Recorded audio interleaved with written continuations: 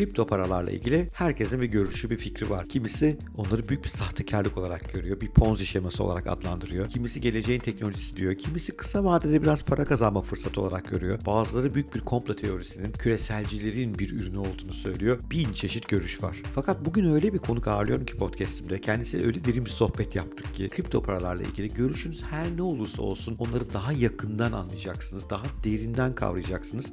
Onların hem teknolojisine hem işleyişine hem felsefesine bambaşka bir açıdan bakmayı öğreneceksiniz. Konuğumun ismi Devrim Danyal. Devrim Danyal Türkiye'de üst yöneticilere, devlet yöneticilerine kriptoyu, blockchain'i anlatan bu konuda 10 yıldır neredeyse eğitimler veren zaten kendisinin deyimiyle zamanın hep biraz ilerisinde yaşayan bir insan. Devrim aslında fizik mühendisi. Fizik mühendislerine olan hayranlığımı daha evvel bir podcastimde söylemiştim.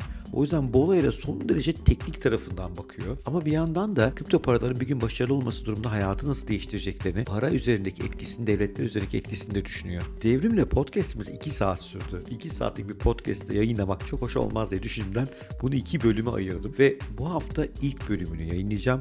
Gelecek haftada ikinci bölümü böylece birer saatlik iki bölümde karşınızda olacağız. Bugünkü bölüm 8 alt bölümden oluşuyor. İçinde rahat yolculuk etmenizi istiyorum. Belki tamamı dinlemek istemeyebilirsiniz. İlk başta biraz hakikaten işin tekniğine giriyoruz. Daha sonra Satoshi Nakamoto ne yapmaya çalışıyordu? Ethereum'da Vitalik ne yapmaya çalışıyordu? Aradaki farklar ne? Para nedir? Merkez bankaları ne yapıyor? Bu tip konulara giriyoruz bugünkü podcast'te. Ama bunu bölümlere ayırmak istedim. Belki tamamı ilginizi çekmez. Ara bölümüne ilginizi çeker diye. Ama asıl tavsiyem tabii tamamı dinlemeniz ve bu hafta bıraktığınız yerden de gelecek hafta devam etmeniz. Aşağıdaki açıklamalarda hangi bölümün hangi dakikada başladığı bilgisi de var. Ayrıca podcast'in akışı boyunca eğer video olarak izliyorsanız bölümlerin başlıklarını da her an ekranınıza görüyor olabileceksiniz. Bu şekilde navigasyonunuzun daha kolay olacağını düşünüyorum. Sevgili Devrim Dayan hakkında biraz daha bilgi almak istiyorsanız aşağıya linke bir yazı bırakıyorum. Haddinaş.net'te yayınladık onun hikayesini. Harika bir hikayesi var. Türkiye'nin teknoloji tarihiyle onun hayat hikayesi adeta üstü örtüşüyorlar. Ta TRT'nin tozlu koridorlarından başlayıp hep teknoloji iç içe olmuş. Mutlaka onu da okuyun. Hem devrimin hayatı güzel hem de Türkiye'nin teknoloji geçmişe şöyle bir göz atmış olacaksınız. Evet şimdi artık başlayalım. Önce sponsorumuz sevgili Mirador Speaker Agency'ye bir teşekkür edeceğiz. Daha sonra da tam hız podcast'a dalacağız. Bugünkü podcast'ın sponsoru Mirador Konuşmacı Ajansı. Mirador kendisini geliştirmek ve değişimin bir parçası olmak isteyen kurumları konusunda uzman yerli ve global konuşmacılarla buluşturuyor. Mirador bununla da yetinmiyor. Müşterilerine eğitim, atölye, sahne şovları, takım oyunları, kuruma özel podcastler, videolar ve influencer işbirlikleri de sunuyor. Ama benim açımdan tüm bunlardan daha önemlisi Mirador benim de konuşmacı ajansım. Uzun yıllardır beraber harika projeler yaptık. Birlikte çok güzel işler çıkarttık. Çıkarmaya da devam ediyoruz. Hoş geldin Devrim Hocam. Merhabalar, nasılsınız sevgili Bora Özgen? Vallahi çok mutluyum seninle burada beraber konuşacağımız için. Şöyle şu blockchain, bitcoin, NFT, metaverse bir altından girelim üstünden çıkalım istiyorum seninle beraber. Ee, senin Haddin Aş hikayesinde Türkiye internet tarihini anlatmışsın bugün Pınar'a. Çok hoşumuza gitti. Onu zaten evet. yazılı olarak da yayınlıyoruz. Burada biraz ileriye doğru sarıp kripto parayla tanışma evrene gelmek istiyorum. Yani Satoshi Nakamoto'nun ilk white paper'ını okuyarak başladım bu işe. Kriptoyu bilen, interneti bilen, networkleri bilen bir insan insandın. Karşılaşınca neler oldu? O ilk karşılaşma nedir abi? Hatırlıyor musun o günü? Ne yaşadınız veya nasıl bir başlangıcınız oldu? Yağmurlu bir gündü. Satoshi beni aradı. Dedi ki abi dedi ben dedi böyle bir şey çıkamıyorum işin içinden gel yardım et dedi. ya dedi bir el atarsam bakalım edelim dedim. E, işin esprisi bir tarafa tabii biz sevgili Satoshi Nakamoto hayatımıza girmeden önce de bu ekosistemleri işte üniversite zamandan bu yana takip ediyorduk. Arka tarafta birçok bu konuyla ilgili e, özellikle kripto para e, olarak nitelendirebileceğimiz finans düzenine e, alternatif neler kurulabilir ya da farklı bir değerlendirmeyle nasıl bunlar yol alır diye birçok proje var hayatta. Onlar e, ben hep şöyle nitelendiriyorum. İşte birisi yağı bulmuş, şekeri bulmuş, unu bulamamış. Birisi hmm. unu bulmuş, şekeri bulmuş. Yani o helvayı yapmak hiç nasip olmamış. Ta ki Satoshi Nakamoto bu e, ekosistemde en sıkıntılı olan double spending problemini yani çift harcama problemini çözene kadar. O çift harcama problemi çözüldüğü andan itibaren de bu tabii ki e, hayatımızda arka tarafına baktığımız zaman çok güzel bir pazarlama stratejisi izlemiş olduğunu görüyorum ben. Bu böyle bir kıvılcım olarak parlayacak ardından da sönecek bir yapıya sahipti. Ta ki Satoshi e, bunu parlatıp tamamen duygusal anlamda insanlara ifade edene kadar. E, duygusal dediğimiz anda da şu anda herkesin en temel ihtiyacı hayatta kalabilmek için e, o e, kapital düzen içerisinde e, bir varlık gösterebilmek ve bu e, gelir gider dengesini oturtabilmek. O yüzden de e, para tarafı e, konvansiyonel dünyanın haricinde dijital tarafta nasıl olur diye öncelikle insanlar bir deniyor, bir bakıyorlar ne oluyor, ne bitiyor diye ve e, kripto para adını vermiş olduğumuz ki ben para demeyi de çok sevmiyorum çünkü kripto para dediğimiz zaman çok kısıtlamış gibi hissediyoruz. O ileride token economics olarak daha insanların şu anda e, çok kulağına deyim yerleşmedi, yabancı e, durumda ama bu iş token economics ile birlikte artık sizin her birey olarak ekosistem içerisine aklınıza gelebilecek nesneleri, parçaları, işte molekülleri, aklınıza gelebilecek her türlü yapıyı bu ekosistem içerisinde kullanır, değiş tokuş yapılabilir hale getireceksiniz diyelim. Ama çıkışı 2009 senesinde konuyla alakalı e, güzel bir pazarlama stratejisine oturuyor. Daha önceki e, örneklerine baktığımız zaman da onlar da hala özellikle David Chaum var mesela bu konuda işte 80'lerden bu yana e, bu projelerle ilgilenen hatta kendisinin şu anda XX Network olarak kurmuş olduğu Quantum Resistant bir varlık ekosistemi de mevcut. Merak edenler olursa onu da incelemelerini tavsiye ederim. Ama tabii hiçbiri ilki çıkan e, ilk proje kadar sansasyonel olmuyor ve kimse onun kadar ekosistemde e, yerini sağlam tutamıyor. Kripto paralar bu blok zincir e, adı altında hayatımıza girdiğinde esasında birkaç farklı teknik birimin ya da şeyin bileşenin bir araya gelmesinden oluşuyor. Mesela biz e, çok uzun zaman database'lerde e, kullanıcı adı şifreleri saklamak için kullandığımız hash algoritmasını ya da hash mekanizmasını e, tamamen e, temel almış bir yapı olduğunu görüyoruz. Ardından e, RSA e, şifreleme mekanizmasının, SHA-256 algoritmasının bu ekosistemde gene bu işte hani helvanın e, yağı, suyu, unu, e, şekeri dediğimiz yapıda birer tane e, parçaların bir araya geldiğini görmeye başlıyoruz. Ve özellikle bu sistem ne kadar güvenilir dediğimiz zaman SHA-256 algoritması bize 2 üzeri 256 farklı değişkene sahip bir yapı sunduğunu gösteriyor. O kadar güvenilir durumda. Hatta bununla ilgili şöyle kafalarda canlansın diye güzel bir örnek de var. 11 ülkede milli piyango yapılıyor ve 11 ülkedeki 100 milyon kişiye ben bir tanesine o biletin çıkması gibi böyle bir arka tarafta o e, denk gelme, tutturma yapısı var. Şimdi bütün bunların hepsi e, birleştikten sonra da karşımıza esasında bir private key, public key dediğimiz yapı çıkıyor. Bu private key, public key de e, gene biz eski işte bilgi işlemcilerin, coderların kullanmakta olduğu e, şifrelerin gizlenmesiyle ve o iletişim teknolojisinde birbiri arasında kullanma, kullanılmasıyla alakalı kullandığımız bir yapı. Ama hiçbir kimsenin aklına aklına gelmemiş ki arkadaş bunu insanlara sanki IBAN gibi verelim ve bu IBAN gibi birbirleri arasında dolaşsın ve o çatı yapının haricinde de dijital ağlara aktardığımız andan itibaren karşımıza çıkan yapıda tamamen dijital ağlara güveneceksek e bu da iki tane şeyle olabilir. Bunlardan bir tanesi asma kilit ki ben ona private key diyorum. Bir de public key o da bildiğimiz asma kilidi açıp kapatan anahtar. E, bu ikili çiftler de bize asimetrik şifrelemeyi oluşturuyor. E, çok detaylarına girmeyelim burada burada ama bu temel üzerinde de hali hazırda 2009'dan günümüze kadar tıkır tıkır işleyen, kendi başına işleyen önemlisi e, bir kod bütünü var. Şimdi burada aslında Satoshi Nakamoto öncesi işte bu CryptoPunk'lar dediğimiz o kitlerin daha öncesinde daha temel kriptografi araştırmacıların hepsinin üzerine örüyor Satoshi know-how'ını ve bunları çok iyi birleştiriyor. Üzerine bunu bir işte token'a çevirip bundan bir servet yaratmayı mümkün kılıyor. 21 milyon adetle üst adedi sınırlıyor. Başka bir bence çok süper zekice bir şey yapıyor. Kendinin kim olduğunu gizliyor. E, çünkü onun kim olduğunu biliyor olsaydık o karakterle mesela ben Ethereum'da Vitali'yi sevmediğim için bütün ısınamıyorum gibi şeyleri de yaşıyor olacaktık veya onu sorguluyor olacaktık onun amaçlarını. O yönü de bence pazarlama şaheseri bu arada. Bana kalırsa son 15-20 yılın bir sürü Nobel'in toplaması gereken fikirle karşımıza çıkıyor. Burada getirdiği inovasyonu da bu çifte harcamayı engelleme olarak söylüyorsun. Nedir çifte harcamayı engelleme? Şu Bizantin e, meselesi nedir? Bir 5 yaşında çocuğu anlatır gibi anlatır mısın abi? Tabii ki. Ee, öncelikle birkaç terminolojik terim var. Onu da evet. açıklarsak eğer e, daha netleşir kafalarda. Eskiden bizim bakkal bakkal defteri olarak güvendiğimiz ve inandığımız bir yapı var. E, o veresiye olarak geçen ve tüm bakkal amcaların e, o mahalleyle ilgili e, tuttukları bir defter. İşte Bora'nın e, 3 lira, devrimin 5 lira borcu var diye oraya yazıyor ve siz o 3 liraya karşılık 2 lira ödediğiniz zaman üstünü çiziyor, e, 1 liraya düşürüyor. E, işte devrim 3 liralıktan mal aldıysa 5 lirayı siliyor, üstüne 8 lira. Yani tamamen bir muhasebe kaydı tutan bir bakkal amca defteri. E, bu e, zaman ilerledikçe ve artık bakkallar yavaş yavaş marketlere dönüşüp onlar da daha büyük trilyon dolarlık şirketlere gelmeye başladıkları anda karşımıza bir muhasebe yapısı çıkıyor. Bu muhasebe yapısını da biz onlara e, çatı yapılara güvenecek şekilde kendimizi teslim ediyoruz. Ve herhangi bir şekilde hani herkesin aklında canlansın diye e, bankalara götürüp de vermiş olduğumuz paranın 100 birim para verdiysek içeride 100 birim olarak durduğuna eminiz. Ancak bankada bu kayıtları tutabilmek amacıyla bunu çatı yapıda kendi bilgi işlem sistemleriyle harcama anında düşmesi gerekiyor. Ve siz bu ekosistem içerisinde bir yerde bir işte 10 lira harcadığınız zaman o 10 lirayı düşmesi lazım ki 90 lira olarak geri kalsın. Bunu 100 10 liraya gidip başka bir yerde bir daha harcayamayın. Çift harcama o demek olacak. Evet. evet. Ama şunu da genelde karıştırılıyor. Onun için bu 100 liradan 10 lira meselesini verdim. Esasında oradaki temel prensip 100 lirayı 100 lira olarak harcadığınız zaman tekrar o 100 lirayı harcayamamız. Ama insanların kafasında şöyle de bir yanlış algı oluyor. Onu da netleştirelim. 10 lirayı harcadıktan sonra bir 10 lira harcama hakkınız daha var.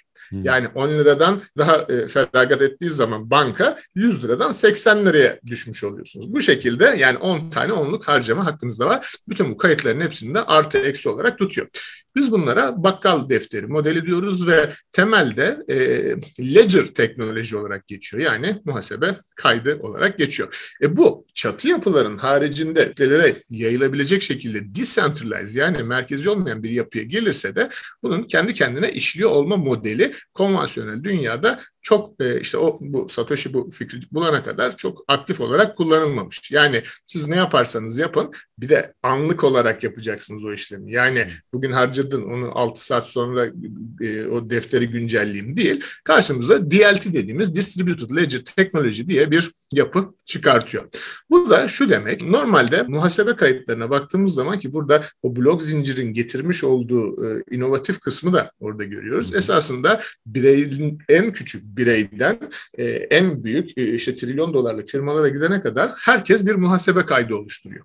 İsterseniz siz bir ciklet bir ekmek alın orada oluşturduğunuz bir muhasebe kaydı. İsterseniz işte Ali Baba'nın 11 11'de yapmış olduğu en son rekor 139 milyar dolar ve ilk e, saniyesinde yani 85. saniyesinde 1 milyar dolarlık bir işlem hacmine mevcut. Şimdi bunları gerçekleştirip de orada insanların kaydını tutabilmek çok kolay işler değil ki Özellikle bunu altyapınız varsa e, merkezi olarak yapabilirsiniz. Ama altyapınız olmadan herkesin inanacağı bir şekilde bunu o dağıtık sistemde tutabilmek istiyorsanız o işlemlerin hepsini anlık yapmanız gerek. Burada çok hızlı hani her şeyin 1-0, 2-0, 3-0'ı var diyoruz. Bu muhasebe kaydının da 1-0, 2-0, 3-0'ı var. Buradaki o distributed, distributed ledger teknolojiyi anlayabilmemiz için bu muhasebe kaydını biraz açarsak herkes çok daha net kavrayacaktır. İlk dönemlerde muhasebe 1-0 dediğimizde tek girişli bir e, yapı var. Yani burada bütün e, ticaret gerçekleşiyor. Ardından e, oraya işte devletin e, kil tabletlerine diyelim Sümerlerinden günümüze gelene kadarki yapıda oraya bunlar işleniyor.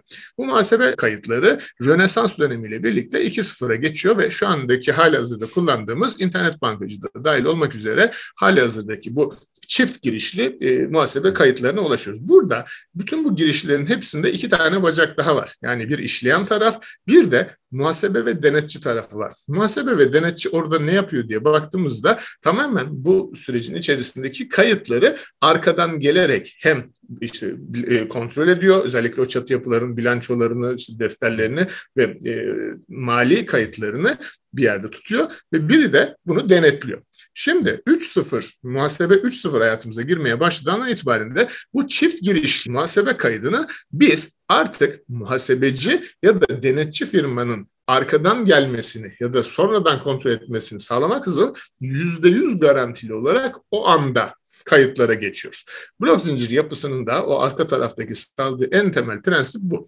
O yüzden de bütün sektörleri etkileyecek bu kadar disruptif e, bir yapısı olduğunu söylüyoruz. Ve bunu da kavradığınız andan itibaren o sürecin içerisinde siz herhangi bir çatı yapıya ihtiyaç duymadan arkanıza bakmadan o muhasebe kayıtlarının %100 güvenli olduğunu anlamaya başlıyorsunuz. İşte o andan itibaren de bu Satoshi'nin blok zinciri yapısıyla birlikte hayatımıza getirdiği o anlık kayıt bize çifte harcamanın çözümünü getirmiş oldu. Yani Bitcoin şu anda 11. yılına girdi işleyiş olarak. White paper 13 yıl, Bitcoin 11. yılda herhalde. Hiç çökmedi değil mi bu blok? Hiç çökmeden bugüne kadar geldi. Yanlışsam beni düzelt lütfen çünkü sonra başka bir şey soracağım. Çökmeden geldi ama bir ara bir böyle şirazesi kaydı diyelim. E, zaman dilimi içerisinde 184 milyar Bitcoin üretildi. Bununla ilgili Medium yazım var. Eğer detaylarını merak edip okumak isteyen olursa devrimdanyal.medium.com'dan ulaşabilir. 184 e, milyar Bitcoin'in basıldığı gün diye. E, bu hatta e, o dönemin içerisinde Bitcoin Talk içerisinde de yer alıyor. Böyle ufak bir tek benim gördüğüm dengesiz bir noktası var. Ona da hemen müdahale ediliyor ve ondan sonra artık bir daha hiçbir sıkıntı yaşanmıyor. Bu arada herkesin kafasında da şöyle bir şey netleştirelim. Ondan sonra yaşanan bütün sıkıntıların hepsi insani. Pazar yerlerinde yaşanıyor. Yani merkezi yapılarda yaşanıyor onlar. Bu Bravo. yaşanıyor. Şimdi soru burada şuna geliyor o zaman. Şimdi bu hakikaten o anlattığın sorunu ben de bilmiyordum. Hemen okuyacağım. Çok ilgimi çekti. Ama hani bir bankanın o kadar korunan bankaların ne çok sorun yaşadığını düşünecek olursak dağıtık bir patronu sahibi olmayan merkezi bir yönetimi olmayan bir yapının 11 yıldır bu kadar büyük transaksiyonları gerçekleştiriyor olması kimsenin aklına ermediği konu. Şimdi burada bana herkesin anlayacağı basit şekilde bunu işlemesi için minerlar ne yapıyor? Node yöneticileri ne yapıyor? Bu sayede sistemin ayakta kalması nasıl garantileniyor? Bir anlatırsan süper olur. Çünkü Harika bir sistem ama bunu çökertmeye, bozmaya, hacklemeye çalışacaklar hep olur. O çifte kaydı birileri bozmak ister. Sistem kendi kendine çökebilir. Yazılımdır bu her şey olur. Nasıl oluyor çökme ve bu node yöneticileri ve minerlar bunu nasıl sağlıyor? Onların rolü ne burada abi? Öncelikle merkezi bir sistem e, nasıl çalışır onu anlatalım ki merkeziyetsiz yapıyı daha sonrasında karşılaştırabilirim. Merkezi yapı dediğimiz belirli bir e, sermaye aracılığıyla oluşturulmuş bir data center üzerinde e, sizin e, uygulamacılarınızın yazmış olduğu, daha doğrusu uygulamacıların isteyip de de coderların yazmış olduğu hayata geçirilen bir kod bütünü. Bu kod bütünü tamamen e, canlı yaşayan bir organizma gibi düşünün. Yani e, sürekli güncelleniyor, sürekli iyileştiriliyor, sürekli update geçiliyor ve bu arada da hemen parantez içerisinde söyleyelim o kod hala 3 Ocak e, 2009 tarihindeki deploy edildiği kodla Core hmm. Bitcoin Core koduyla devam ediyor. Hani e, ardından bir sürü çatallanmalar, hard forklar, soft forklar e, oluyor ama e, o e, kodun üzerinde temel olarak gidiyor. Şimdi bu e, çökmelerin en temel nedenlerinden tanesi e, birinci e, yapı içeriden kötü niyet olabilir. İkincisi yanlış kurgu ya da yanlış güncelleme update olabilir. Üçüncüsü makine arızası olabilir. Dördüncüsü dışarıdan ona etki ederek işte orayı hacklemek ya da o sistemi manipüle etmek üzerine kurulmuş olan yapılar olabilir. Yapı içerisinde eğer merkezi ve merkezisiz olarak karşılaştırmaya başlarsak ilk söylediğimiz şey neydi? Tamamen o yapıya içeriden herhangi bir sıkıntı çıkarılıyor mu? E öyle bir şey yok. Neden? Çünkü bir kere deploy edilmiş ve o kod sürekli işliyor. Yani o e, tekrar tekrar dokunulan bir yapı değil. İkincisi bu ekosistem içerisinde ona makinaların sağlayabileceği sıkıntılar. E, makine bir tane değil ki. Şu anda node adını verdiğimiz, düğüm adını vermiş olduğumuz hem madenci hem de bunun kayıtlarını tutan yapılar e, şu anda 11 bin, 12 bin civarında e, dünya üzerinde makineden oluşuyor. Bunlar tıpatıp aynı kaydı tutuyorlar. Biri tamamen çökse bile 10.999'unda aynı kayıtlar duruyor diyorsun değil mi? Bravo, evet. bu budur. Yani ben bunu genelde eğitimlerimde şu şekilde e, özetliyorum yani kafalarda canlansın diye.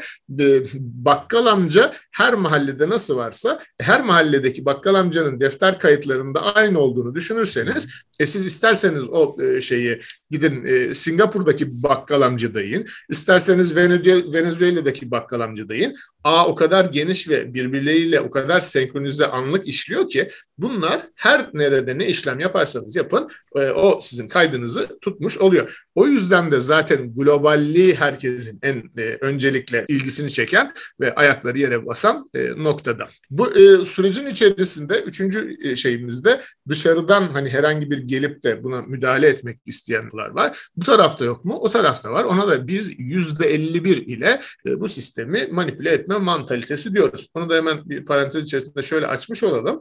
E, makineler takdir edersiniz ki bir şeyin doğru ya da yanlış olup olmayacağına karar verebilecek bir yapıda değiller. Herkesin anlayacağı dile çevirirsek mesela e, çok çekirdek bir ailemiz var. Üç kişiden oluşuyor. Anne var, baba var. Bir de çocuk var. Çocuğu gidip de e, anneyi ya da babayı yüzde bir, yüzde elli bir oranında kendi tarafına çekebilirse yani o saç ayağı dediğimiz yapıyı kırıp da ikiye bir duruma düşürürse o işte o tabletiyle, bilgisayarıyla oynayabilir hale geliyor. Ama lütfen dikkat edin. Burada tabletle oynamanın yani bilgisayarla oynamanın iyi ya da kötülüğü diye bir şey yok.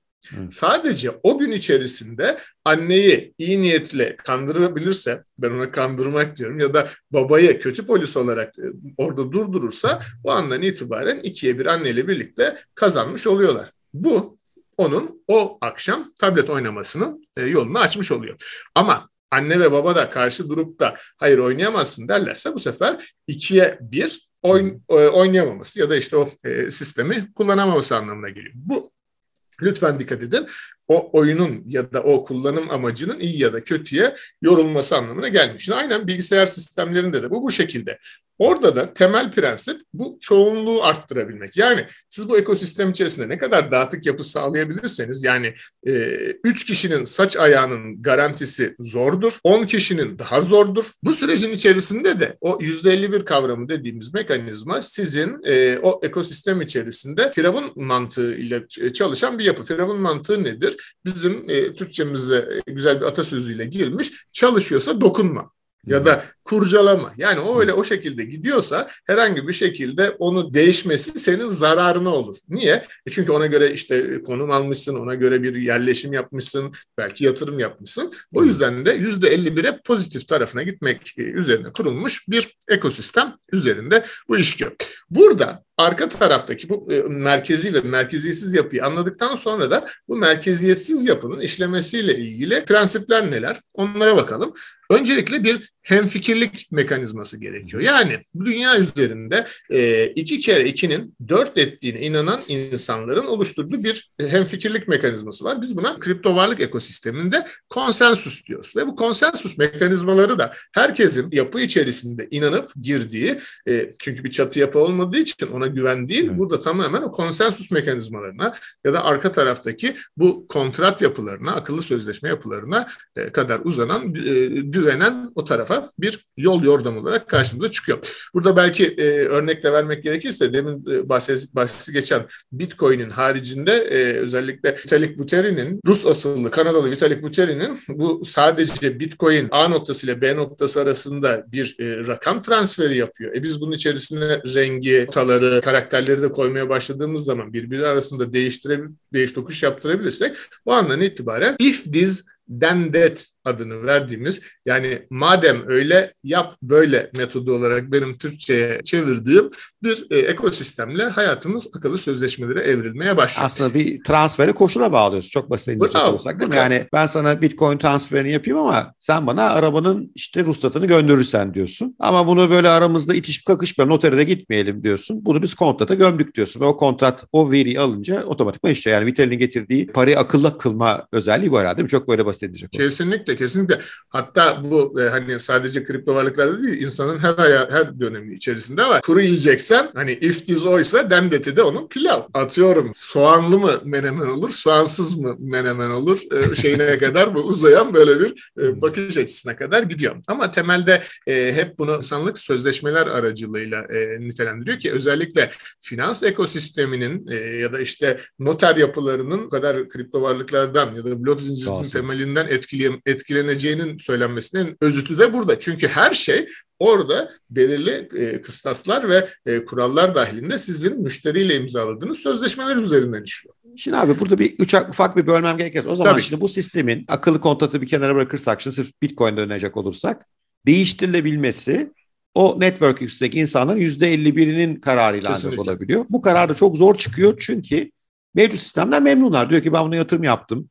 Mesela atıyorum birisi gelip 21 milyon bitcoin olmasa 30 milyon bitcoin olsun dese Diyecek ya ne yapıyorsun arkadaş 9 milyon bitcoin artıcı bizim evimizdeki de değeri azalacak diyor. Bu işin maddi tarafı bir de bunda sonra geleceğiz bir kısmı ulvi amaçları da var. Yani dünyayı değiştirme amaçları da var. Hani ona biraz sonra geliyor olacağız. Peki bu yüzde yüzü kim bunlar abi? Bu yüzde 51 kimlerden oluşuyor? Nasıl işliyor? Mesela Taproot güncellemesi diye yakın zamanda işte bir güncelleme devreye girdi. Hı hı. Kimler veriyor bunu kararını? O, o madenciler kim? Not yöneticileri kim? Orası herkese çok flu geliyor. Yani benim hep gördüğüm konu kripto dünyasını biraz anlayan işte benim gibi hasbel kadar anlayanlar, senin gibi çok iyi anlayan arasındayla. Estağfurullah. Diğer insanlar arasında fark bunları çözemiyorlar. Yani istiyor ki orada bir otorite olsun, bir devlet olsun, bir merkez bankası olsun. Sen şimdi böyle konsensus falan deyince kafalar bir gidiyor.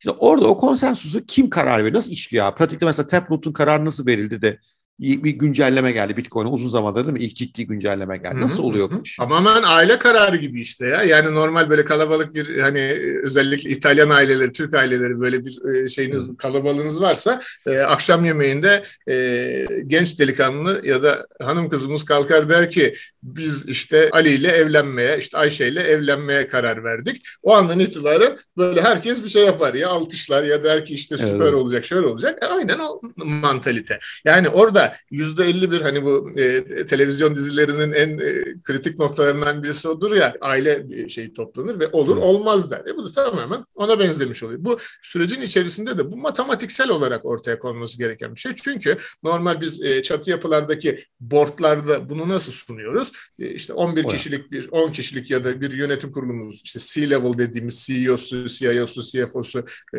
üstünde çalışan onların board yönetimi karar verirken diyor ki oylamaya sunuyorum. 4 kişi hayır diyor, 6 kişi evet diyor. E bitiyor. Bir oy hakkı var gibi düşünün. Bunu fan tokenlardan anlatabiliriz. Hani normalde gidip bir fan token aldığınız zaman e, esasında kulübe gidip normal fiziksel delege olmaktan, üye olmaktan bir fark yok. Orada da ne yapıyorsunuz? Diyorlar ki şu tarihte işte seçim yapacağız. E, gel oyunu at. E, ondan sonra da çık. E, burada da herkes benzer şekilde kendiyle ilgili oyunu vermiş oluyor ve artısına eksisine bakılarak bu e, zaten e, söylenen şey de onların ortaya atmış olduğu bir fikir olduğu için genelde kabul görülebilecek şeyleri söylüyorlar. Temeldeki farklılıklar mesela ilk e, en önemli olan e, bence e, Segwit tarafında işte e, bu blokların boyutunun büyütülmesi, hmm. sonra taproot mantalitesi falan e, detaylarına çok girmeyelim ama e, arka tarafta işin e, o karar mekanizması o e, ekosistemde şu anda kim isterse bu arada onun e, e, hakkında da böyle bir elinde de böyle bir bir hak olabilme imkanı var. Yani dağıtık yapı dediğimiz andan itibaren iş birazcık mempool dediğimiz havuzlara dönmeye başlıyor ama gene sizin orada oy kullanma hakkınız e, olur. E, Nasıl elde ediyorum oy kullanma hakkını? Nasıl elde ediyorum? Yani para mı yatırıyorum elde ediyorum? Nasıl oluyor oy kullanma hakkı abi? E, şimdi temelde baktığınız zaman evet gene birazcık parayla alakalı. Niye diyeceksiniz? E, bu ekosisteme girebilmek için öncelikle her şeyden önce bir cihaza ihtiyacınız var. Evet. Bu cihazı aldıktan sonra ona bir internet bağlantısı, ona bir işte en azından üstü kapalı bir alan, ona yapılacak bir yazılım e, şey güncellemesi ve bu şekilde siz bu aşamaları geçtikten sonra e, cebinizden haliyle bir tutar çıkıyor. Bu esasında ilk başlarda e, cep telefonuyla ya da işte hani e, SMS sadece SMS gönderebilen akıllı telefon olmayan yapılarda bile çalışılması üzerine evet. kurulmuş olan bir yapı. Ama sonrasında bu genel tabana yayılıp da o not sayısı artmaya başlayınca tamam o tarafı iyi güzel ama arka tarafta da bu madencilikle ilgili yavaş yavaş e, tekelleşme sıkıntıları doğmaya başlıyor. Bu önümüzdeki günlerde daha da artacak. Neden diyeceksiniz? Satoshi Nakamoto'nun çıkarmış olduğu Proof of Work konsepti esasında bizim çalışma ispatı dediğimiz, iş ispatı dediğimiz bir yapı. O da şuna denk geliyor. Gene kafalarda canlandıralım şu şekilde. İlk çağlarda takas döneminde herkes bu süreçte yapmış olduğu iş için bir e, emek harcıyor. Eşit emek kriteri adında bir olgu, bir yapı çıkıyor. Bu ne demek? Benim bir e, ineğim var, sizin de bir tavuğunuz var ve ikimizin de 24 saatlik bir zaman dilimi olduğunu düşünelim. Bu inek ve tavuğu da üretim tesisi gibi düşünelim. Benim ineğim 24 saat içerisinde 1 litre süt verirken sizin ineğinizin e, işte atıyorum 5 tane yumurta vermesi, 10 tane yumurta veriyor olması demek sizin o 24 saat içerisinde üretim tesisi olarak elinizde bulunan değeri gösteriyor. Ve bu sizin o ekosistem içerisindeki yarattığınız yani iş yaptığınıza dair bir gösterge olarak ya da bir işte maden ocağında çalışıyorsanız e, işte kazmayla e, aldığınız şeyler e, ne diyelim ona toprak parçaları sizin o günlük yapmış olduğunuz işi gösteriyor. Ona karşı e, peki, alıyorum ona karşı paramı kazanıyorum. Bravo. Bravo. Ya da işte atıyorum ne kadar simit açtıysanız, ne kadar ekmek yaptıysanız, ne, ne kadar harç kazdıysanız bütün bunların hepsi bir emek olarak veriliyor. E peki bunu dijital ağlarda çatı yapı olmadan, kimsenin karar mekanizmasına bağlı kalmadan, herkesin e, eşit miktarda imkan sağlay- sağlandığında onu gösterebilecek yapısı ne olacak? E, dijital ağlar tarafında elektrik. Oradan da birazcık o konuya Yumurta yerine elektrik koy diyorsun basitçe yani. Ne kadar evet. elektrik harcadın? Kaç yumurta evet. ürettin? Kaç elektrik harcadın? Bunun karşılığında Burada da tabii ki ilk başlardaki o süreç günümüze geldiğimizde hem elektrik paralarının artması hem de arka taraftaki bu makinaların cihaz olarak artıyor olması işte amortisman gidenleri falan filan e bir aldığınız makineyi 10 sene kullanamıyorsunuz. İşte 3-5 sene sonra yenisini almak zorunda kalıyorsunuz gibi gibi bütün bu süreçlerin hepsi işin içine girmeye başladığı anda e, bir bakıyorsunuz ki ortam ilk açıldığı gibi değil. E, bir taraftan da bu e, çevreciler e, işin içine girmeye başlıyorlar. E, çok elektrik harcıyor. İşte sanal varlık, işte kripto varlık üreteceksiniz diye dünyanın nimetleri gidiyor gibi. Tamam amenna orası da doğru. Ama arka tarafta da bunu başka türlü yapabilecek bir mekanizma, bir metodoloji yok. Satoshi'nin bulmuş olduğu oradaki tersine çalışan mühendislikle bir milli piyango yapısı var. Onu da yenlerin kafasında şöyle e, canlandıralım. Hani biz milli piyango çekilişi için işte bir tarih verilir. Atıyorum ayın 29'unda çekilecek. Biz de gideriz e, milli piyango bayilerinden onun biletini alırız. Burada tam tersi bir milli piyango ekosistemi çalışıyor. Çekilen numara esasında belli. Ve bu çekilen numaraya siz e, bir bilet almak yerine sürekli sorgu gönderiyorsunuz ve o sorgunun içerisinde de karşınızda e, bulunan makine size cevap veriyor. Yani ben e, Bitcoin'in o anki o 10 dakikası içerisinde çıkacak olan Milli Piyango biletinin ne, ne olduğunu biliyorum rakamını. Herkes bana diyor ki Hocam 3 mü, 5 mi, 7 mi, 2 mi, 6 mı? Diyorum ki hayır. Birisi 9 diyor. 9 Tutturuyor. dediği zaman ben de diyorum ki al bu 10 dakikalık şeyin ödülü sana bu. Bu da madem buraya kadar girdik onu da tamamlamış olalım. 2009'da 50 Bitcoin ile her 10 dakikada bir ödüllendirilirken bu e, enflasyonist bir yapının karşısına geçebilmek için e, her 10 dakikada bir 50 vermek yerine çünkü o zaman 2140'a kadar ilerlemiyor. Daha kısa sürede bitecek durumda. O yüzden 4 senede bir halving dediğimiz yarılanma süreciyle birlikte karşımıza bir yapı çıkarmış oluyor. Şimdi e, işte 10 dakikada 12,5 Bitcoin veriyor. Kaç oluyor şu anda? Son şu anda 6.25'teyiz. Dördüncü dönemdeyiz. Yani 50 ile başladık. 25 oldu. 12,5 oldu. Şu an 6.25'teyiz. Geçtiğimiz Mayıs ayında yani 2020'nin e, Mayıs ayında e, bunu işte kutladık. Halving oldu dedik. Ardından da işte 4 sene sonra bu 3,125'e düşecek. Şimdi arka tarafta matematiğini yapanlar da şu şekilde bir noktaya geliyorlar. Ben ilk başta aynı makina hatta daha ucuz bir makinayla e, daha e, ucuz e, elektrik parasıyla bunu üretiyordum ve 50 tane bitcoin alıyordum. Ama orada da hikaye şu. E, siz onu ürettiğiniz zaman da o zaman 50 bitcoin'in değeri yoktu. Ama şu anda 6.25 aldığınız zaman e, şu anda işte 700 bin lira civarında diye düşünürseniz e, baktığınızda karşınıza çok ciddi anlamda eğer o ödülü kazanırsanız miktar geliyor. Burada da yol şuna ayrılmaya başlıyor. Hı hı. Ben makine olarak buraya girmeye başladım. E, benim elimdeki makine bir tane. Yani bir tane milli piyango biletim var. Ama birisi gitmiş onluk seri almış. Birisi gitmiş yüzlük seri almış. Birisi gitmiş binlik seri almış bilet olarak öyle düşünün.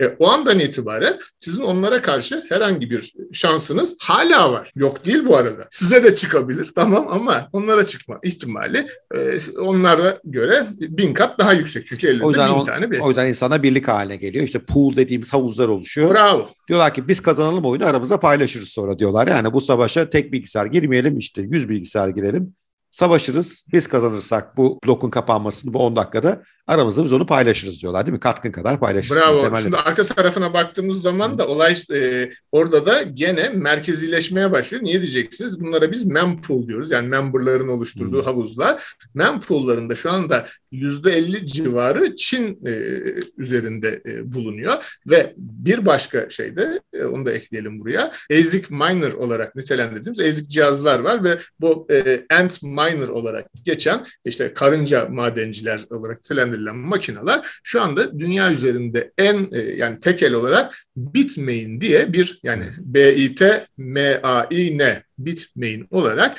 e, ana bit olarak diyelim ona e, bir e, firma tarafından üretiliyor ve satılıyor. Bitcoin üzerine söz sahibi olmak istiyorsam, o oylamaya girmek istiyorsam benim Bitcoin'e yatırım yapmam lazım. Yatırım yapmam Bitcoin almak değil, makinelerimi alacağım, yazılımı kuracağım ve o prosese katılıyor olacağım. Fakat o prosese katılmak gittikçe zorlaşıyor. Çünkü o prosesin gerektirdiği bilişim gücünde artış var rekabetten dolayı. Bu %51 meselesi hala geçerli olmakla beraber biraz merkezileşme endişesini görüyorum sende devrim. Yanlış mı anlıyorum? Yani eskisi kadar dağıtık olmayabilir. Birkaç büyük pool'un eline geçiyor olabilir bu diyorsun. Ama aslında o pool'ların da her biri yine altında bireylerden oluşuyor. İnsanlardan Sadece oluşuyor. Beraber Doğru. karar verebilirler ve bu %51 mekanizmasına zarar verebilir gibi endişe mi okumam lazım söylediklerinde? Yayılıyor. Yayıldıkça o %51 iyice dağılmaya başlıyor. Yani bugün hmm. atıyorum 100 kişiyken yarın 1000 kişi. Şu anda işte 100 milyon kişi ise atıyorum bu ıı, şey içerisinde e, olan. Ama toplamda e, onu da bidnodes.io diye bir site var. Oraya girip canlı e, şu anda kaç nod ayakta onu da görebilir haldesiniz. E, girdiğiniz zaman işte 9 bin ile 12 bin arasında değişen rakamlarda bu karşımıza çıkıyor. Esas e, beni tedirgin eden bu, bu, bu mantık çalışıyor. 10, 10, 11 senedir 12 senedir çalışan mantık bu. Ama esas özellikle bu Ethereum 2.0'ın beklentisiyle birlikte artık Proof of Work mekanizması, Proof of Stake dediğimiz hisse kanıtına geçmeye başlayacak. Ve hmm. o e, Bitcoin sadece burada hani ana dijital altın e, olarak dururken akıllı sözleşmeler bazında tüm sektörlere yayılarak değiştireceği nokta benim ilgimi çekiyor. Hmm. Çünkü o noktada da siz proof of work'tan vazgeçip yani elektrikli makineleri bir kenara koyup da sadece hisse kanıtı üzerinden bu validatörlüğü e, sağlar hale geldiğinizde de iş parayı veren düdüğü çalara dönmeye başlıyor. E niye? E çünkü şu anda Ethereum 2.0 üzerinde validator olabilmek için 32 Ethereum'u stake etmeniz lazım. E 32 Ethereum çarpın örnek vereyim yuvarlak hesap 5000 dolar olsun.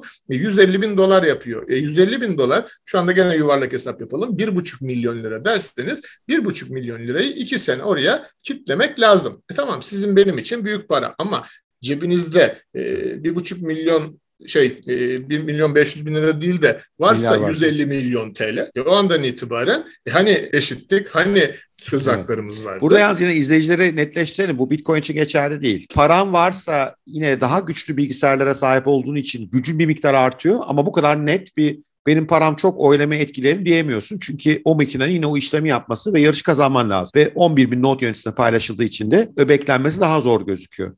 Ethereum ve diğerlerin hepsi aşağı yukarı aynı mantıkla Proof of stake diyelim. Proof of stake ise benim bir Ethereum var. Stake demek sahip olmak demek öyle söyleyeyim. 32 tane Ethereum var abi. Benim burada oy hakkım var diyebiliyorsun. Ama öbürü gidip 10 bin Ethereum alırsa onun oy hakkı geçerli olursa bu protokolün geleceğe yönelik endişeli olacağını yani tehlikeli olacağını düşünüyorsun. Yanlış anlamıyorum değil mi Devrim? Doğru, doğru, doğru. Evet, Ve evet. bu da e, bu işin protest ruhuna birazcık e, aykırı kaçmaya başlıyor. E, e, gene bu iş çatılaşırsa, gene bu iş e, o tarafta hani e, bir şeye gelirse yani geçen gün e, bir hesap yapmışlar. Şu anda Bitcoin e, blok zincirine yüzde 51 ile kırmak e, üzerine e, bu hep bana evet. çok uzun zamandır da sorulan soru. Şu anda rakamı 325 milyar dolar civarında. Ve 325 hani, milyar dolarlık para harcı harcanacak. Birisi %51'lik hash power ele geçirecek. Ve ama, o zaman kırabilir o an, diyorsun. Ama o anda da ne olacak? O anda da şu ana kadarki bütün geçmiş bloklar hali hazırda güvende. Geçmiş dönemde ekosistem içerisinde yer alacak, yer alan arkadaşlarım e, hatırlayacaktır. Akıllı sözleşmelerde DAO altyapısının ilk e, denenmeye başladığı zaman dilimlerinde DAO diye bir proje vardı ve bu e, ciddi anlamda hacklendi ve karşısında e, bu Ethereum... Geri değiştirelim dedi Ete, Vitali değil mi? Yanlış mı diyorum? Ve bravo, bitirdi bravo. olayı bence. O günden sonra ben tamamım dedim Ethereum'da işim olmaz dedi. Ulan bu değişebiliyorsa biz niye blockchain konuşuyoruz değil mi? Yani Hemen o, oraya da bilmeyenler için şöyle özetlemiş olalım. Dediler ki ya böyle bir hack sistemi var. Bu hacklendikten sonra da blokların geçmiştekileri kayıtları sağlamda duruyor. Ama bundan sonra böyle giderse o hack, hackleyen kişinin eline vermiş olacağız ipleri. O yüzden dediler ki biz bir fork yapıyoruz ve forkla birlikte de bu e, hayatımızda e, o ağ değiştirilebilir hale geldi. E, Hani değiştirilemezdi. Evet, evet. Oradan sonra ben zaten ondan sonra Ethereum'la falan ilişkim çok kökten değişti. Hani zaten çok fanatik Bitcoin'cilerin. Yani ben şeyler ayrı bir konu. Diğer coin'lerin sağladığı bir sürü güzel şey var. Solana'yı çok beğeniyorum. Mesela NFT'lerde çok işe yaradığını görüyorum. Bugün enteresan bir rapor okudum. Ama hiçbir Bitcoin değil benim gözümde. Çünkü %51'i düzgün işleten 345 milyar dolar gerekiyor diyorsun. O da yetmiyor o saldırının bir de çok organize olması lazım. Doğru muyum? Aynı anda olacak. Diğer not yöneticileri uyanıp ona tepki veremeyecekler. Yani sistem savunmaya geçemeyecek falan aşağı yukarı imkansız geliyor bana. Yani yüzde yüz imkansız olsa değil. da sevgili Bora Özkan şöyle de bir şey var onu da e, nitelendirelim. E, tarihe baktığımız zaman bir gümüş skandalı ya da işte e, süreci var diyelim. Hatırladığım kadarıyla Londra'da bir e, yatırımcı, bir holding sahibi diyor ki ya ben bütün dünya üzerindeki gümüşleri toplarsam eğer e, artık iki dudağımın arasında kalır gümüş fiyatını belirliyor olmak. Hmm. Ve cepte ne varsa hatırlayanlar olacaktır. Tüm piyasadaki e, gümüşleri topluyor. Ama öyle bir şey oluyor ki e, insanlar gümüşten vazgeçiyor. Evet. Yani o andan itibaren de senin elinde tamam. E, şunu unutmayın lütfen. E, Bitcoin'lerin e, %51 ile hash power'ına sahip oldunuz. Ele geçirdiniz. Ele geçirdiniz. E, değeri 1 lira. E, harcadığınız 325 milyar dolar. Anlatabiliyor muyum? Yani attığınız sistem taş... Sistem böyle bir cevap verebilir diyorsun ve mahvedebilir onu diyorsun. Tabii yani sistem der ki olan %51'i ele geçirdi bunun. Bitcoin'in artık bir değeri kalmadı dediği anda da işte burada oyun teorisi tabii devreye giriyor. Ya aslına bakarsan bunlar tabii çok büyüleyici şeyler derim ve seninle saatlerce bunları konuşabilirim.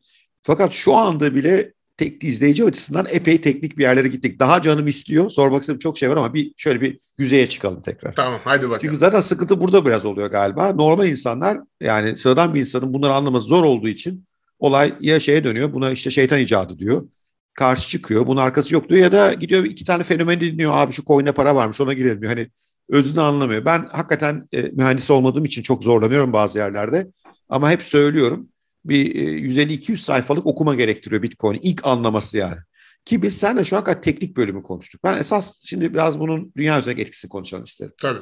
Ne istiyordu abi? Satoshi niye böyle bir şey yaptı? Nereden çıkıyor bu mesele? Neden böyle bir şeyin peşindeyiz? Yani para, cebimiz para görsün ayrı bir konu. Ama bunun arkasındaki esas şey neydi? İtki neydi? Motivasyon neydi? Biliyorsun her dönem içerisinde kuşaklar farklı farklı e, görüşlere sahip oluyorlar. Her dönem içerisinde de işte bu hippie dönemleri var. Hatırlarsın 60'lı işte kuşakların e, yaşadığı. Ardından farklı farklı kutuplaşmaların olduğu. Ondan sonra iş e, globalleşmeye başladı. Bambaşka dünyalardan e, geçtik, geldik. Bu sürecin içerisinde de Cyberpunk diye e, bir grup var ve diyor ki özellikle çıktıkları nokta bizim çatı yapılara ihtiyacımız olmadan çünkü çatı yapılar bizim hem işte bu KVKK, GDPR olarak hmm. adlandırılan e, bizim ürettiğimiz dataları bizim haricimizde kullanıyorlar. Artık bizim e, cebimize e, herhangi bir para girmeden onlar bunu ticari olarak kullanımdalar. Bizim iznimizi almıyorlar gibi böyle bir mottoyla yola çıkıyorlar. Ardından da bu çatı yapının her türlü noktada değişmesi gerektiği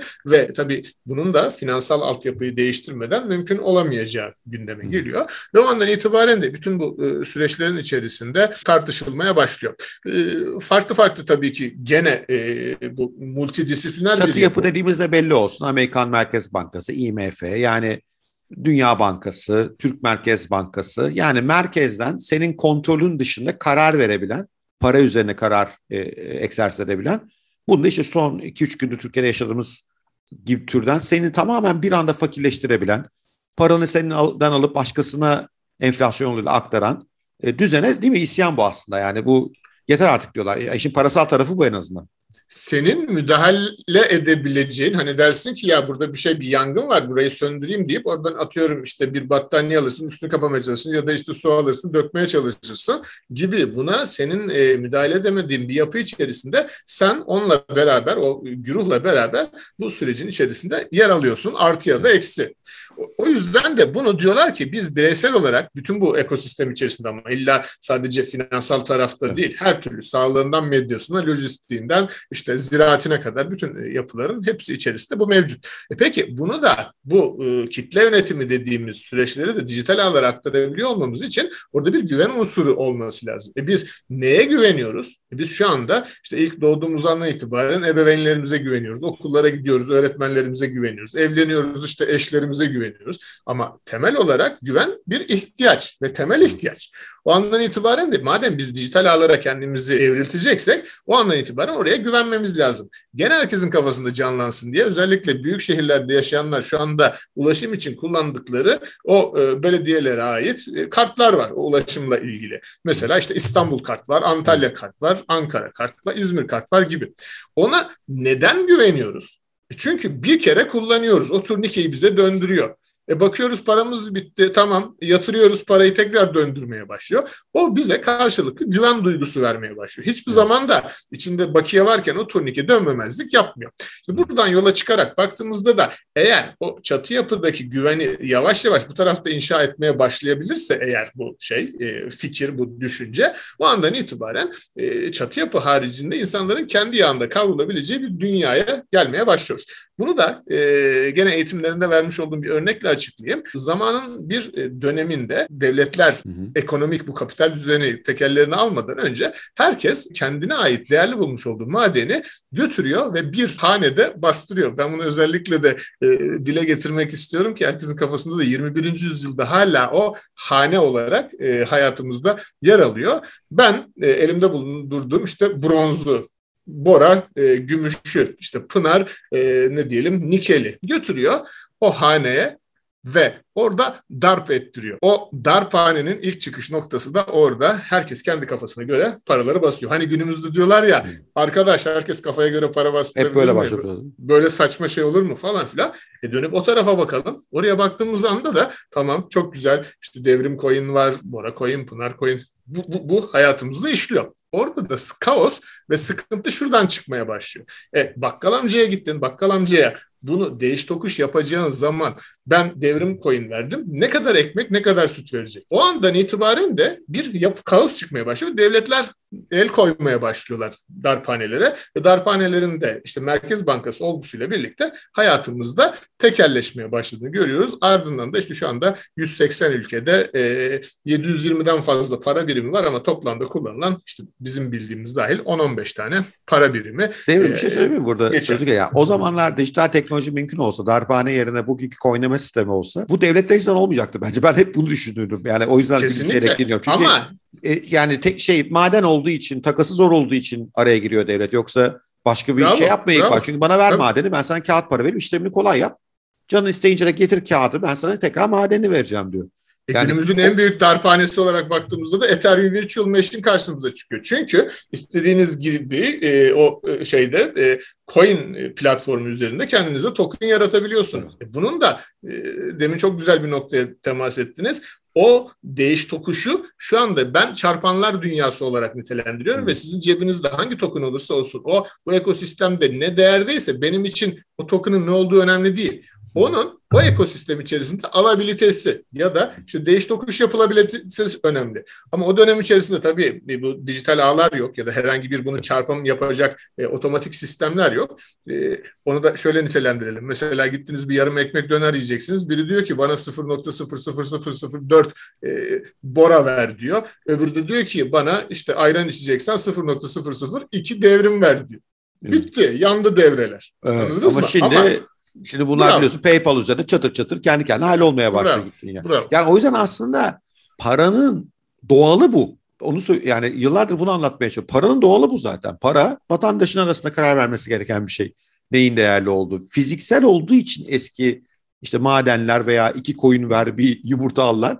Transaksiyon yapmak zor olduğu için, bu veriyi paylaşmak zor olduğu için araya devlet girmiş. Ama devlet sorumluluğu galiba kötüye kullanmaya başlıyor değil mi? Cyberpunk'lar buna karşı çıkıyorlar galiba değil mi? Şimdi evet. o, oraya gelmeden önce de şunu bir hemen netleştirelim. Ee, bütün alım satımlarda şöyle bir genel kavram var alıcı ve satıcı memnunsa o andan itibaren o ticaret mutlu biter. Doğru mu? Doğru, ve ben bunu hep noterlerden ya da tapu dairelerinden örnek veriyorum. İşte aramızda bir ticaret gerçekleşecekse, bir araç satışı, bir ev satışı hmm. gerçekleşecekse orada sordukları tek şey var. Kim alıcı, kim satıcı? Diyor ki Bora ben e, satıcıyım. Ben de diyorum ki alıcıyım. Bora'ya sordukları tek şey var. Ödemeyi aldın mı? Ya da razı mısın? Ya da tamam mısın? Hiç kimse şunu sormuyor. Lütfen bizi dinleyenler de buna dikkat etsinler. Paranı öyle mi aldın? Böyle mi aldın? Kağıtla mı aldın? Sana yemek mi ısmarladı? Aldın Memnun mı? musun? Ya makbuzunu göster. Hiçbir şey yok. Yok. Hiç. Sen Aranda. sen sen razıysan eğer Tamam. Ve o e, sürecin içerisinde de herhangi bir sıkıntı yoksa işte alan memnun, satan memnun. E ve bu da bize şunu gösteriyor. Önümüzdeki dönem içerisinde de paraya ihtiyaç olup olmayacağı. Hani bu metaverse'lerden konuşuyoruz ya. Metaverse'lere girdiğimiz andan itibaren de artık paraya ihtiyacımızın olmayacağı bir döneme gidiyoruz. Çünkü bizim adımıza onu alıcı ve satıcı olarak memnun hale getirirsek e, takas yapmak için yani benim gitarım var. Siz, sen de diyorsun ki ben de keman çalmaktan sıkıldım. Değiştirelim mi? Değiş, değiş tokuş yaptık. Birbiriyle değeri aynı mı? İşte o andan itibaren de hayatımıza fungibility, non-fungibility giriyor. Bugüne kadar hiç kimsenin merak etmediği bir konu bu son e, bir senede diyelim herkesin diline pelesenk oldu. Vay efendim NFT'ler aşağı, e, fungible'lar yukarıya böyle bir sürecin içerisine geldik. Sen şimdi biraz çok ileri doğru gittin geleceğim oraya ama. Yani yok var yok daha şey yapıyorum şu anda nereye gideceğimizi doğru verdi, şimdi oraya doğru geliyor olacağız. Fakat şimdi bu e, tekrar eski çerçeveye dönecek olursak aslında Para normalde bu olması gerekiyordu. E, işlemediği için sistem devletler araya girdiler dediler ki madenleri bize verin biz karşılığında size borç senedi veriyoruz. Sonra dediler ki o madene de gerek yok. Ben sana istediğim kadar canımın istediği kadar bunlardan basıp veririm dediler değil mi? Şimdi kıyametin koptuğu bir yerde burası. Çünkü Satoshi Nakamoto'nun bu paper yayınladığı yıl 2009.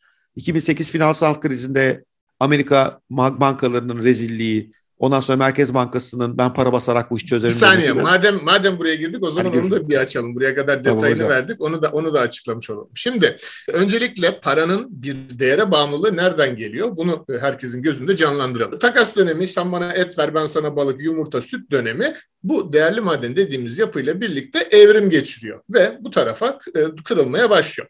Ardından da o dönemi içerisinde işte altınlar, gümüşler, bronzlar değer haline gelmeye başlıyor ve elle tutulduğu andan itibaren bir ağırlığı olmaya başladığı için bu sen bakkal amcaya gittin kesenden iki altın çıkardın verdin ekmek sütü verdi sana. Onda sıkıntı yok ama büyük iş adamısın ve e, işte atıyorum dönümlerce arazi alacaksın ya da işte hayvancılık yapacaksın 500 inek 2000 tane tavuk alacaksın. E ne yapacaksın? Sırtına, külçe, sırtına külçelerle altın alıp onu nasıl ödeyeceksin o tarihte hayatımızda ilk defa gördüğümüz bir yöntem giriyor ki şu andaki bu kripto varlıkları NFT'lerin de en temelini oluşturan e, yapı.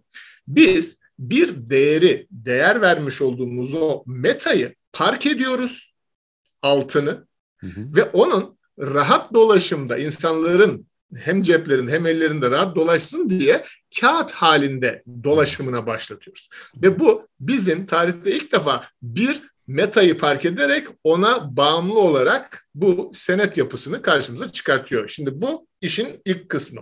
İkinci kısmı bunun senetlerden banknotlara dönüşüyor olması ve ardından da işte doların, Türk lirasının, yuanın, Japon yeninin bu altın rezervine bağlı olarak sertifikasyon haline getirilmesi. Şimdi herkese bunu böyle bir netleştirelim. Ya o zaman benim elimde bu kadar altın var diyorsun aslında. O kağıt o ama o altın Merkez Bankası duruyor. Bunu ispatlar. Bravo, bravo. Çünkü park ettiğimiz yerde orada bizim adımız o saklanıyor. Bunun karşılığında da bu kadar para basıldı deniyor.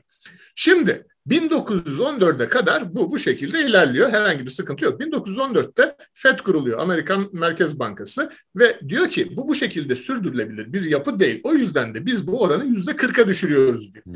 Yani 100 dolarlık bir banknot basabilmek için 40 dolarlık rezerv yeter diyor ve bu şekilde bir süre devam ediyor. O da ta ki 1944'e kadar 1944'te de işte Dünya Savaşı'ndan e, herkesin cebinde para bitmiş bütün e, ülkeler e, mağdur durumda. Amerika Birleşik Devletleri New Hampshire eyaletinin Bretton Woods kasabasına davet ediyor hepsini. Bir sahil kasabası. Ya, tarih önemli. Savaş bitmemiş durumda henüz. Bunun üzerine dur çünkü çok kritik nokta diye söylüyorum. Kusura bakma devam et lütfen. Estağfurullah, estağfurullah. Oraya o, e, toplanan devlet başkanlığına diyor ki elinizdeki bütün altınları bana yollarsanız yolladığınız andan itibaren ben de size onsu 35 dolardan bunu fonlayacağım ve parasını vereceğim.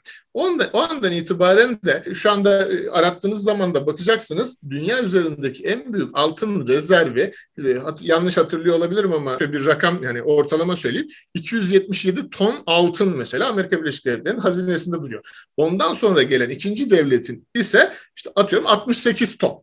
Yani arada bu öyle bir makas aralığı olan bir yapı gelmeye başlıyor.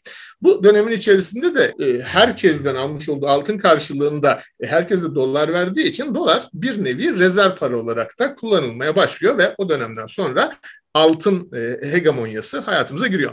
Ta ki 1971'e kadar 1971'de de keseceğim devrim yaz. Orada ben, ben şöyle bir şey görüyorum da senin de fikrini merak ediyorum. Tabii.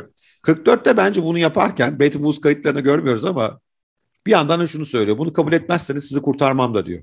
Yani ben ben bunun içerisinde çünkü başka türlü olacak iş değil. Yani altını yolluyorsun sonra geri istiyorsun vermiyor biliyorsun. Hani e, öyle giden de geri gelmiyor yani. Altını veriyorsun evet. sana kağıdı eline tutuşturuyorlar. Çünkü bence orada Avrupa'nın şeyine çöküyor. Diyor ki gelirim kurtarırım. Çünkü biliyorsun 44'e kadar doğru savaşa girmiyor zaten. Yani bir şey yaptı yok takılıyor. 44'te başlıyor büyük hikaye. Ondan sonra bir yaz sürüyor yani. İşte şeyden çıkıyor Normandiya'dan değil mi? Almanya var nasıl bir sene hallediyorlar. Şimdi bir sene sürmüyor 6-7 ayda bitiyor ve e, korkunç bombalıyor Almanya'yı, Dresden'i falan biliyorsunuz yerin dibine gömüyor yani. O, katliam yapıyor. Ben burayı dümdüz edeceğim. Öbür tarafta Ruslar zaten canları çıkmış zavallılar. Almanları yeneceğiz diye. Bunlar bir anda çöküyorlar oraya.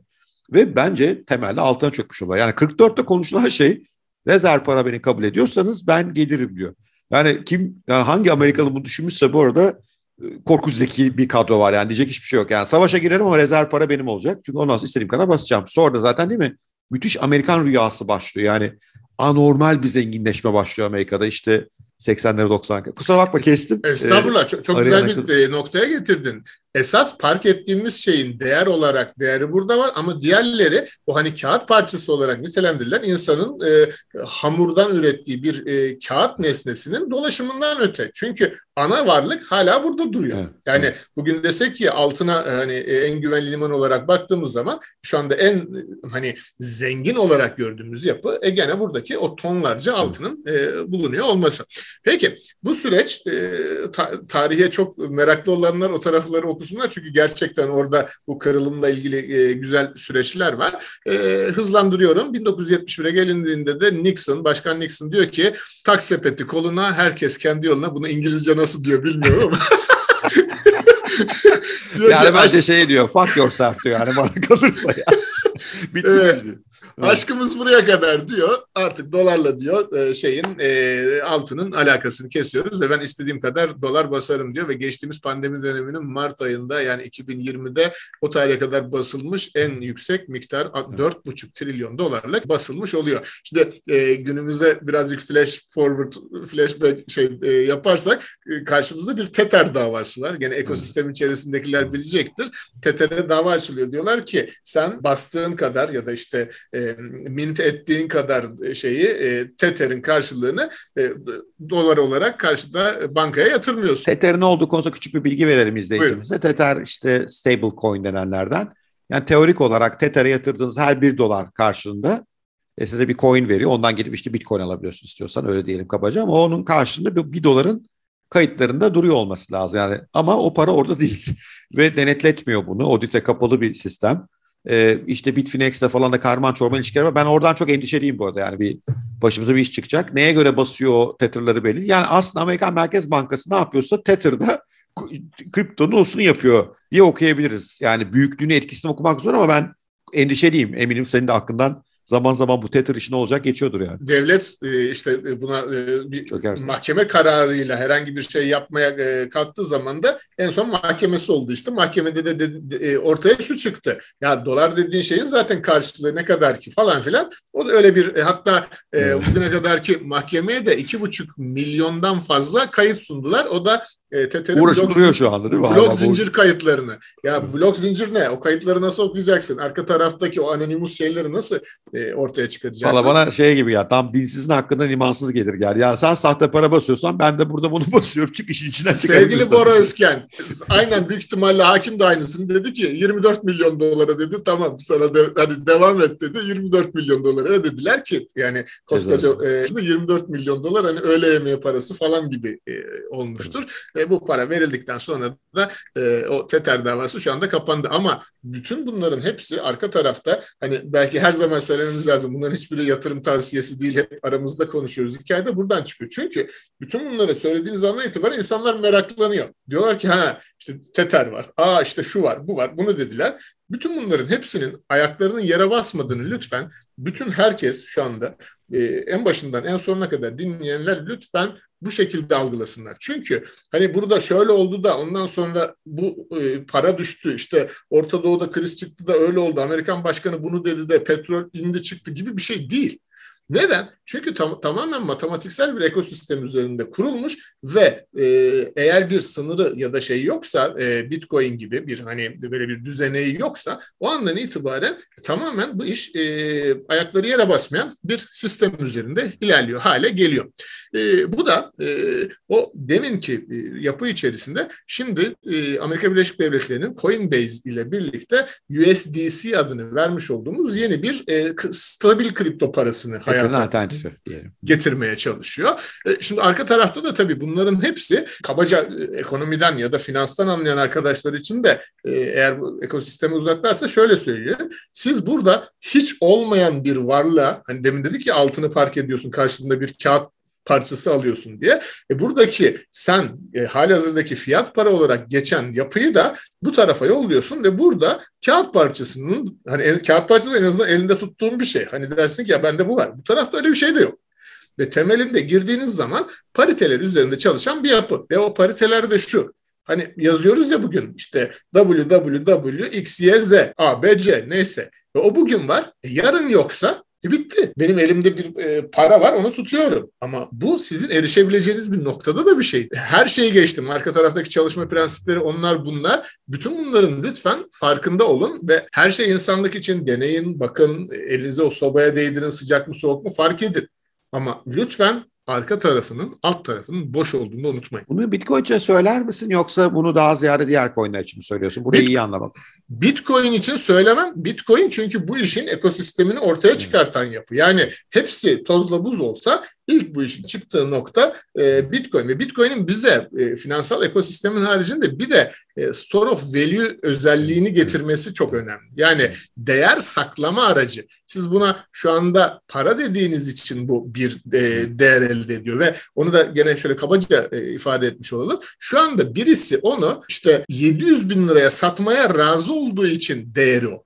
Evet. Ama şu anda elinde tutmuş olan işte 19 milyona yaklaşan bir bitcoin üretildi. Ee, bundan sonra önümüzdeki 120 senede sadece 2 milyon bitcoin üretilecek. Bu da bizim karşımıza fear of missing out dediğimiz FOMO'yu getiriyor. Neden? E çünkü 19 milyon üretildikten sonra sen bu ekosistemde tamamen o 19 milyonun sahip olduğu kesmin iki dudağının arasındasın. Yani onlar dese ki en taban o floor price dediğimiz hani taban fiyat olarak 1 milyonun aşağı satmıyoruz arkadaşlar tamam mı evet. desek e, Bitcoin'in fiyatı 1 milyon dolar. Talepte varsa böyle olacak ki zaten gidişat olarak da şöyle bir yapı var. Bu 19 milyonun zaten 2-3 milyonu kayıp galiba. E, geriye kalıyor 16 milyon. Exchange'lere bakıyorsun pazar yerlerinde 2 milyon falan Bitcoin var. Gerisi hiç ortalıkta yok. Yani 1 milyon Satoshi de onu biliyoruz. 1 milyon onda duruyor. İşte evet. herhalde bu Winklevoss'larda bir epey var falan. Hani bir kısmı adresleyebiliyorsun ama ciddi bir bölüm çekilmiş durumda piyasa. Hiç işlem görmüyor, hiç transaksiyon yok. Ve bunun enflasyonist, enflasyona karşı bir koruma aracı olduğuna ikna olan insan sayısı arttıkça ki şu anda galiba toplam 150 milyon kripto kullanıcısı var. Çok küçük aslında hala yani. Tabii tabii tabii çok küçük. Tabii. Hoş bir karşılaştırmayı şöyle yapıyorlar. 1997'de internet kullanıcı sayısı 150 milyon. Onun 2006'da ancak 1 milyarı buluyor. Yani yıllık %30 büyüyor. Bitcoin yani kripto daha doğrusu %80 büyüyor yıllık. 2024-25 gibi 1 milyara geleceğiz diyor. Şimdi işte sen de eminim hakimsin Metcalfe yasası, network değeri yasası vesaire. Yani oradan bakacak olduğumuz zaman da Bitcoin'in değerli olduğuna bu kitle inandığı sürece ve o büyük Bitcoin sahipleri bunu aniden sert satmadığı sürece bunun yukarı doğru gitmesi matematik kuralı gereği. Çünkü gittikçe kıtlaşıyor, olan piyasaya girmiyor vesaire. Hani Sevgili yüzden... Bora Özkent onu da şu şekilde zaten çok net bir ayrımla görüyoruz. Bitcoin var, altcoin'ler var. Evet. Yani o zaten kendini literatürde de artık e, belli eder ve ön planı çıkartır hale gelmiş durumda. Bu arada girip çıkanlar var. Hani bu 10 binden fazla e, kripto e, varlık var dediğimiz yapı demin anlattığımız tarihteki işte Bora gitti devrim gitti kendi parasını tokenını çıkardığı hikayeyle aynı. Herkes kafasına göre bir şey çıkartabilir. Çıkarmakta da hani e, şey yok e, bir sınır yok ve benim fikrim akıl akıldan üstündür. Hepinizden daha zekice olursa o öne geçer. Başka Ali'ninki, işte John'unki, Michael'ınki farklıysa o öne geçer hale geliyor. Burada esas önemli olan arka taraftaki bakmamız gereken şey şu. Geçtiğimizde Squid Games'in token'ı çıktı dediler. Bir günde 2 milyar dolardan fazla Indira Gandhi ve ondan sonra şimdi bakın. Ne dediler bundan, biliyorsun değil mi? Mesaj aldım depresyona girdik biz diye çekiliyoruz dediler gittiler abi. Ama şimdi ben ben bu arada baktım ben Squid Game o dönemde yani müthiş bir coin'di. Çünkü oyun oynuyorsun biliyorsun yani. Coin'i alıp oyuna katılıyorsun. Şimdi yanlış hatırlamıyorsam Squid Game filmi 420 kişi katılıyordu oyuna. 400 işte 19 ölüyor bir kişi kalıyor. Bunda da kural öyle dediler yani 419'uz batacak zaten dediler. Bir kişiye kalacak para. Ona da bırakmadılar. Onu da kendileri Zaten Ve, baştan belli diye yapacaklar herifler. Yani. sevgili Bora Özgen, yarın çıksa yarın 5 milyar yatacak. Bakın size hani evet, bu evet. şeyimi de hani oradaki tereddüt ya da şeyimi e, algımı anlatmaya çalışıyorum. Yani bu hani tamam diyoruz ki yatırım tavsiyesi değildir öyle yapalım. Yani ne yapalım? Gidelim merkezi sarsalım mı? Gir, yani yapma arkadaş, etme arkadaş mı diyelim? Ne yapalım? Onu da bilemiyorum. Bahsi alıp değerleniyor. Ondan sonra kızıyorlar. Sen niye bana alma dedin diye değil mi? Ben mesela hat bu holoya çok sinirleniyordum. Bu ne saçma şey diyordum. Bak şimdi geldiği yere bak şimdi diyorlar bana tepeme biniyorlar hocam holo. Ben e, ama yani... e, oran olarak da çok özür dilerim. E, Shiba'ya baktığınız zaman 71 milyon mu ne? Yani en son yüzde açıklanan... milyon kazandı değil mi bir yılda? E, yüzde evet. milyon yani sevgili izleyiciler 100 dolar yatırınca hadi kasper kadar koymuş olsun 71 milyon. Ben o gün şeyi düşündüm onu kafamdan geçerken ondan mesela atıyorum Paribu'dan 100 dolar almışım laf olsun. Yanlışlıkla almışsınız. Abi unutmuşum sonra bir gün hesaba giriyorsun 71 milyon dolar yani o gün artık uyumazsın parayı nasıl çekeceğiz oradan. Mesela şeyi şeyde Paribu'da böyle fon var mıdır yani o fonun o parayı Akbank'a aktarabilecek mi o? Yani kafam acayip karıştı bir gün yani. Bu da şunu gösteriyor ki Elon Musk işte e, gidip de profiline işte Doge yazdığında, Bitcoin yazdığında eğer bu spekülatif bir halde hala o tarafa doğru gidiyorsa çok da merkeziyetsizliğinden bahsetmiyoruz. Biz arka tarafta teknik olarak hani böyle sağ olun sizin gibi söz hakkı verildiği zaman insanlara mümkün olduğunca e, o tarafa heyecanla anlatmaya çalışıyoruz ki diğer taraf çünkü e, manipüle edilmeye çok açık olduğu için bugün onu yazıyor. Yarın e, Bora yazsa ve Bora'nın coinleri çıkıyorsa o zaman kimse bakmıyor ki arkadaş Bora kim, ne yapar, ne eder. Ama çok netleşmek adına burada şunu söylüyoruz. Bitcoin'in fiyatı da çok sert dalgalanabilir. O da manipülasyona açık. Ama Bitcoin'in altyapısına, işleyişine güveniyoruz. Ve merkezi olduğu için bu işin o bizim için başka bir yerde. Diğer bütün altcoin'ler başka bir yerde. Çünkü onlar merkezi yapı hala. Yani arkalarında bir patron var, bir yönetici var, bir kurucu var. Onun ne yapacağına bağlı. Yani bugün Vitali ölse Ethereum'un ne olacağını merak ediyorum. Ama şu anlama gelmiyor. E, işte NFT alacaksan Ethereum'a ihtiyacın var. Solana ile Ethereum mining, e, minting'in daha kolay oluyor gibi. Yani bunlar anlamsız teknolojiler değil. Bunlar son derece anlamlı teknolojiler. Bir sürü kullanım alanları var ama insanların riskinin farkında olması lazım. Doğru mu hocam? Yani iki ayrım yapmak Şimdi, söyledim. E, bu e, akıllı sözleşmelerin 2014'te işte e, Vitalik girişimleriyle hayatımıza geçen e, Ethereum Virtual Machine adını verdiğimiz e, yapı esasında internetin birer protokol şeklinde çalışmasından evet. çok öte değil. İnternet dediğimiz şey toplamda üç tane protokol üzerine çalışır altyapısal olarak. Bunu herkes e, bilir ama kimse farkında değildir. Bunlar transfer protokolleri dayanır ve toplamda 3 transfer protokolümüz vardır. Hypertext transfer protokol bize HTTP ile www internet sitelerini sağlar. SMTP, Simple Mail Transfer Protokolü vardır. Et işaretiyle mail göndermemizi sağlar. Geri kalan bütün dosya transferleri için de altyapı olarak file transfer protokolü kullanırız ve bütün bunlar TCP/IP e, ekosistemi üzerinde tıkır tıkır işlerler. Ve bu benzer yapıda gelip e, Vitalik tarafından e, Ethereum Virtual Machine üzerinde kurulup da işte bu ERC olarak nitelendirdiğimiz e, Ethereum Request for Comments olarak kısaltabileceğimiz gene kurallara bağlandı. Dedi ki ERC 20 dediğimiz bir kripto varlıktır ve kripto varlık olarak birbiri arasında token baz de- değiştirilebilir. Yani e, işte rakamlar olarak birbirine gidebilir. ERC 721 diye bir şey çıkardım dedi. Oradan NFT'lerin tekil hali olmaya başladı. Yetmedi. Dediler ki e, biz burada gamerız yani tek bir cüzdanımız içerisinde tek bir e, parça olsun istemiyoruz. İşte kılıcımız olsun, kalkanımız olsun, kurşunlarımız olsun, ışın kılıcımız olsun. Ve bütün bunların hepsi içinde ERC 1155 çıktı. Yani ihtiyaç esasında interneti blok zincir olarak bu tarafa evriltirsek arka taraftaki o altyapı protokollerinde çok e, zekice e, aldı Vitalik ve bu tarafta insanlara sunar hale getirdi.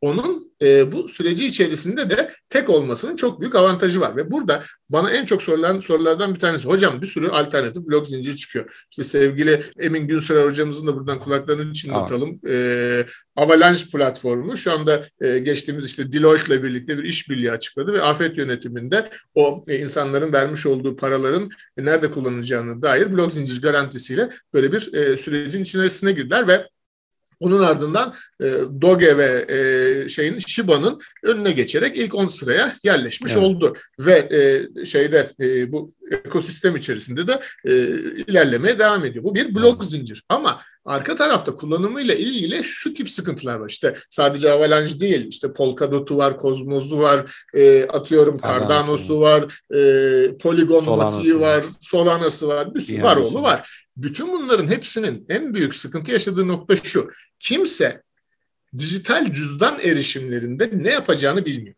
Ve lütfen dikkat edin. Siz borsa bazlı alış satışın haricinde bu blok zincirlerle etkileşim kurmak istiyorsanız onun dijital cüzdanlarına ulaşmak ya da hali hazırda MetaMask kullanıyorsanız MetaMask cüzdanınıza bunun network tanımlarını yapmanız lazım. Bırakın bunun cüzdanlarını kullanmayı herkes en temel bildiği borsalarda işlem yapıyor. Ve orada da en başından beri sevgili Alp Işık'ın da buradan kulaklarını çınlatalım. Not your coins, şey not your keys, not your coins. Yani anahtarları sende değilse o 12, 15, 18, 21, 24'lük kelimeler sende değilse o cüzdanın sahibi sen değilsin. O yüzden de buradaki varlıkların sahibi sen değilsin. E bu insanlara yavaş yavaş... Kodekçiler falan anladılar onu mesela değil mi? Bravo. Evet. Büyük ihtimalle anlamışlardır. Yani acı bir şey ama e, bu tarafta Metamask kullanmaya başladığınız andan itibaren de şöyle bir gerçek var. Buradan herkese de onu söylemiş olalım. Metamask ilk Ethereum olarak açılıyor default. E, o yüzden Ethereum'un dominansı hala %90'lar üzerinde. Yani siz bir farklı Avalanche, işte Polkadot, Cosmos ne kullanacaksanız Binance neyse onu oraya alt tarafa network yani olarak. Benzetmesini şöyle yapalım insanlar kolay anlasın diye. Hala çoğu işte yeni aplikasyon indirdiğinizde Facebook'la açayım mı dediği için Facebook ha, var. Bravo. Doğru mu? Yani Kesinlikle, en kolay bravo. açıyor diye yoksa Facebook kim kullanır?